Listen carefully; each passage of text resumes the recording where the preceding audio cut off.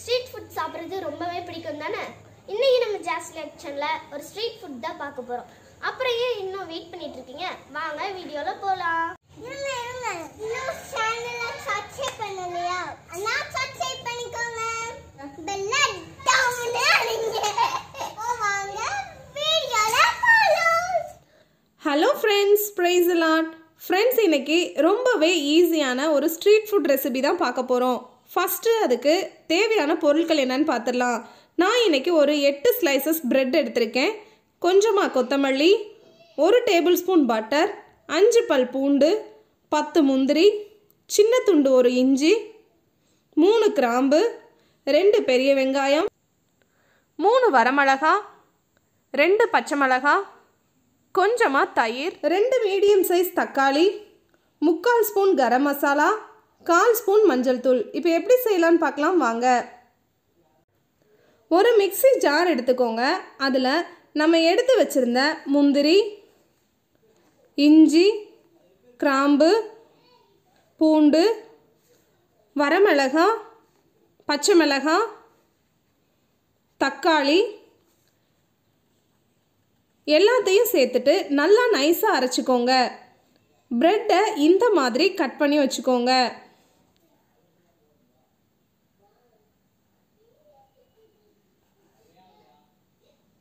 இந்த மாதிரி எல்லாத்தையுமே கட் பண்ணி வச்சுக்கோங்க.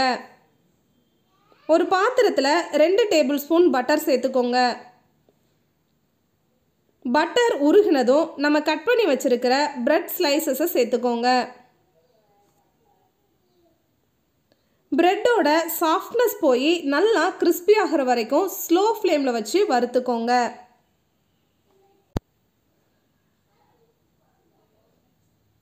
இந்த மெத்தடில் செய்கிறதுக்கு கஷ்டமாக இருந்துச்சுன்னா ஒரு தோசைக்கல்லை சூடு பண்ணி ஒரு ஸ்பூன் பட்டர் சேர்த்துக்கோங்க.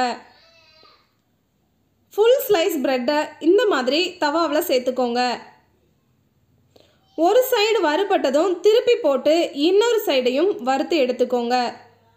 நல்லா வறுபட்டுருச்சு. எடுத்து குட்டி குட்டியாக கட் பண்ணி வச்சுக்கோங்க. ஒரு பாத்திரத்தில் மூணு ஸ்பூன் எண்ணெய் சேர்த்துக்கோங்க. எண்ணெய் சூடானதும் வெட்டி வச்சிருக்கிற வெங்காயத்தை சேர்த்துக்கோங்க. வெங்காயத்தை நல்லா பொன்னிறமாக வதக்கிக்கோங்க. வெங்காயம் வதங்கிருச்சு. இந்த ஸ்டேஜில் நம்ம அரைச்சி வச்சுருந்தோம் இல்லையா? அந்த பேஸ்ட்டை சேர்த்துக்கோங்க. சேர்த்துட்டு ஒரு டூ மினிட்ஸ் எண்ணெயிலேயே லைட்டாக வதக்கிக்கோங்க. இது கூடவே மஞ்சத்தூள் கரம் மசாலா தூள் சேர்த்து வதக்கிக்கோங்க.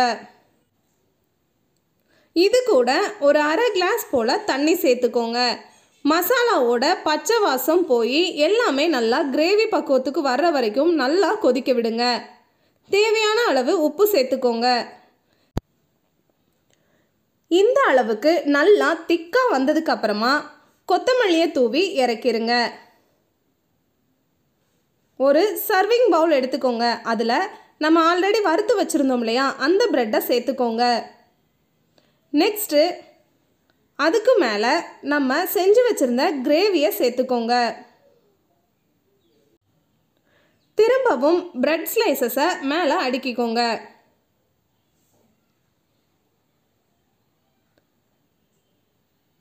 நெக்ஸ்ட்டு அதுக்கு மேலே நம்ம செஞ்சு வச்சுருக்கிற கிரேவியை சேம் அதே மாதிரி சேர்த்துக்கோங்க.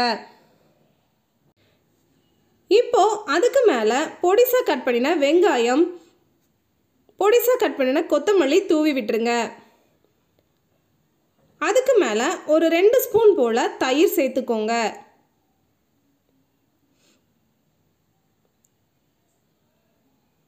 இந்த மாதிரி பானிபூரி இருந்துச்சுன்னா கையால் க்ரஷ் பண்ணி சேர்த்துக்கோங்க. இது ஆப்ஷனல் தான். தேவைப்பட்டால் சேர்த்துக்கோங்க. இல்லைன்னா வேண்டாம். அவ்வளோதான் ஃப்ரெண்ட்ஸ் நம்மளுடைய பிரெட் மசாலா ரெடி ஆயிடுச்சு. ஈவினிங் டைம் இந்த மாதிரி குழந்தைங்களுக்கு செஞ்சு கொடுங்க. ரொம்பவே விரும்பி சாப்பிடுவாங்க. இனி ஸ்ட்ரீட் ஃபுட் சாப்பிடணும்னா வெளியே போய் தான் சாப்பிடணும்னு இல்லை. நம்ம வீட்லேயே ஹெல்த்தியாக செஞ்சு சாப்பிடலாம். இந்த பிரெட் மசாலா பிடிச்சிருந்துச்சுன்னா செஞ்சு பார்த்துட்டு எப்படி இருந்துச்சுன்னு கமெண்ட் பாக்ஸில் சொல்லுங்கள் இந்த வீடியோ பிடிச்சிருந்துச்சுன்னா லைக் பண்ணுங்கள் உங்கள் ஃப்ரெண்ட்ஸ் அண்ட் ஃபேமிலிஸ்க்கு ஷேர் பண்ணுங்கள் தேங்க்யூ